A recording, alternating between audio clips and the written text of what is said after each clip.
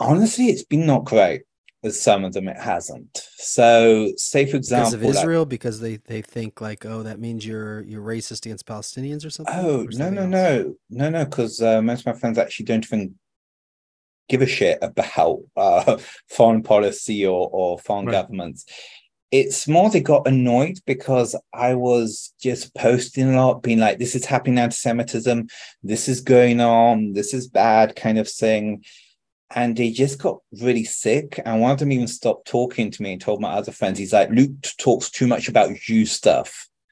Ba- basically, is it, because, is it because it felt like you suddenly maybe found an identity of sorts, and they were trying to just kind of lose the identity because that's the general trend today, right? It's like just we're all the same. We're not all the same. Come on, guys. No, no, we're all the same. And suddenly this guy comes and feels a sense of identity. Isn't that infuriating sometimes to people? It, it, it it was sometimes some people. So some people are like, "You never used to say you were Jewish," and I'm like, "Yeah, everyone knew I was working on a game about the Holocaust. You just didn't listen before. I've just become very, very outspoken about anti-Semitism because it's also taken over a large part of my career now because of the video game and, and, what I do. And if I was kind of oblivious to everything, right, you know, I shouldn't be making the game if if I was just like completely oblivious to everything going on in the world.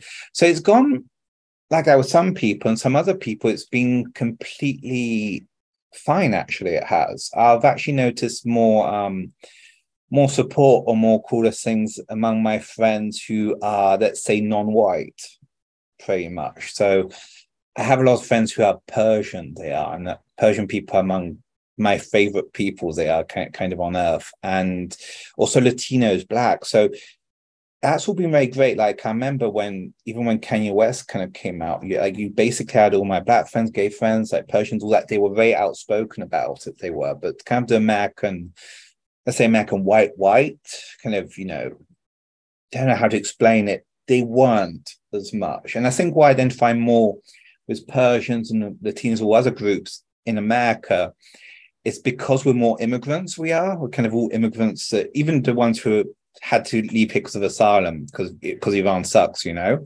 Right.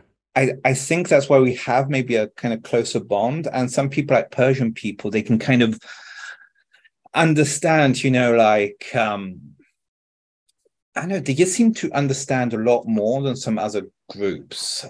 Yeah. And I I don't know quite what that is because I do think it's quite fascinating because Iran, the government, is the most anti-Semitic government on earth. Yeah, but that's a government. That's a very yeah. small yeah. part of the population. As a but culture, this is a fascinating culture. You know, very very yeah. Wild.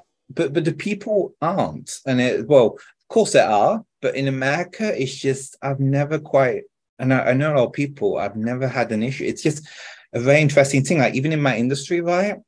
The people which attack me and things like that have often just been white, white. How can I say white savior, social justice kind of t- types, uh, you know, who are basically like, Luc Bernard is the biggest Zionist in the industry. He hates Palestinians. And I'm like, mate, I, I, have some friends who are one state solution of Palestinians. I don't agree with them, but I'm friends with them. Like, so it's been, uh, yeah, it's been a very interesting thing yeah, everything everything became uh, very black and white in recent years. Uh, it's like you either you're this or that.